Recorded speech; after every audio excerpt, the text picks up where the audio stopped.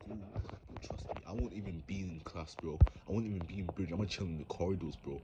Like literally, literally, you all leave around 12 as well, so I might as well. I might as well It's last year of school, so even if I get detention or get into call for being in corridors, like why does it matter? It's the last year of school. Everyone's gonna forget the fact that I was in the corridors next year, and plus next year, uh, everyone's it's gonna be a new, brand new day next year. So.